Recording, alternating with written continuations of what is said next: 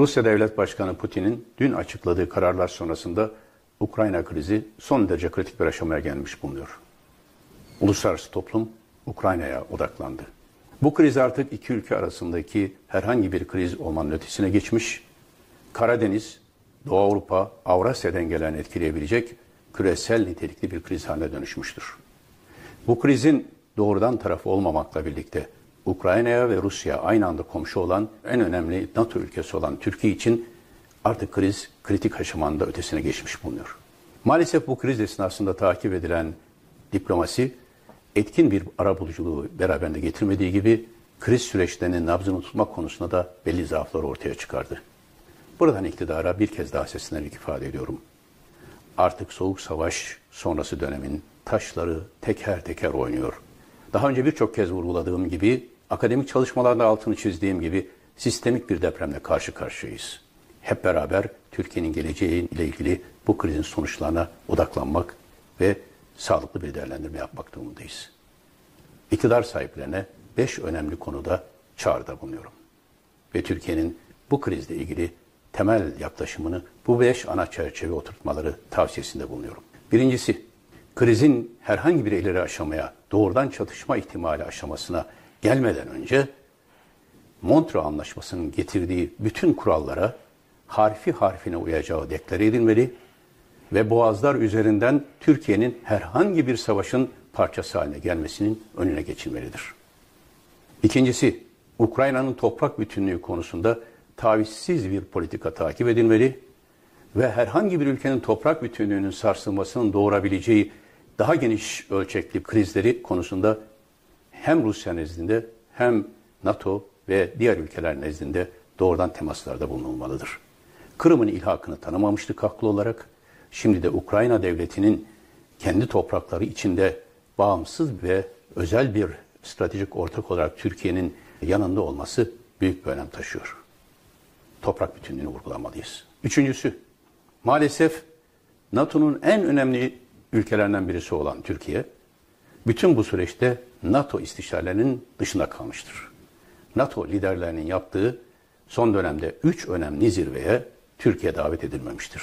Polonya ve Romanya'nın dahi girdiği bu zirvelerde Türkiye maalesef yer almamıştır. Dolayısıyla NATO içindeki küçük nüansların, görüş ayrılıklarının da doğrudan nabzını tutarak etkin bir rol oynama ve NATO içinde Türkiye'yi olabilecek risklere karşı korumak konusunda önemli bir aracı kaybettik. Şimdi artık krizin bu aşamasında Türkiye NATO'nun bütün mekanizmalarında doğrudan görüş beyan eden ve bu krizden etkilenecek bir ülke olarak bu görüşlerini NATO ülkeleri nezdinde ifade eden bir konuma derhal geçmelidir.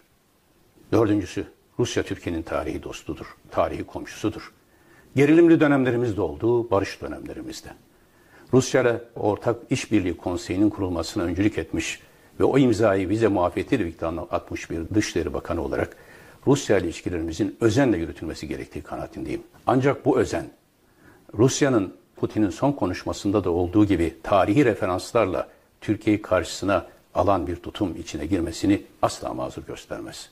Rusya ilişkilerimizi, istişarelerimizi kapsamlı bir şekilde derinleştirmeliyiz. Avrasya ölçekli istişarelere devam etmeliyiz ve Rusya nezdindeki etki gücümüzü Ukrayna'nın toprak bütünlüğü bağlamında bir ara buluculuk içinde kullanmaya çaba sarf etmeliyiz. Ve beşincisi, bütün bu gelişmeler Soğuk Savaş sonrası dönemin temel stratejik depremlerinin kalıntılarının, sarsıntılarının hissedildiği bir dönemi başladığını gösteriyor. Birleşmiş Milletler sistemi etkisizdir. Rusya'nın Suriye'de takip ettiği politikayla Ukrayna'da takip ettiği politika arasındaki çelişkiler her an her ülkenin her başka ülkeye müdahale edebileceği kanaatini oluşturmuş bulunuyor. Son dönemde Rusya'nın Donetsk ve Lugansk kendilerini ilan ettiği adıyla cumhuriyetlerini tanıması ulus devletlerin yapılarını çözecek çok tehlikeli bir süreci başlatır. Bu bağlamda Moldavya, Gürcistan, Azerbaycan, Suriye, Irak, Bosna Hersek gibi ülkelerin toprak bütünlüğü konusunda Türkiye açık ve net bir tavır almalı ve bütün bu farklı bölgelerde, farklı ülkelerdeki çıkar farklılıklarını da gözeten ama hepsine alternatif stratejik planlamalar yapan bir esneklik göstermek zorundadır. Zor günlerden geçiyoruz. ülke içinde sorunlarla karşı karşıyayız.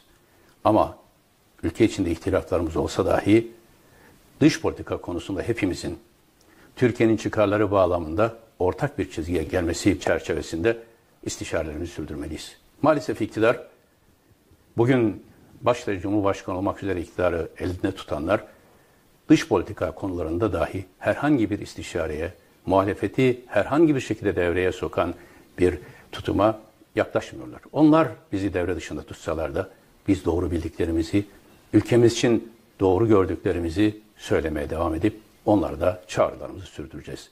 Ümit ederiz ki Rusya ile Ukrayna arasında en kısa sürede ateşkes ve barış sağlanır ve ümit ederiz ki Ukrayna-Rusya krizi bir NATO-Rusya krizine dönüşerek Türkiye'de etkileyen sonuçlar doğurmaz.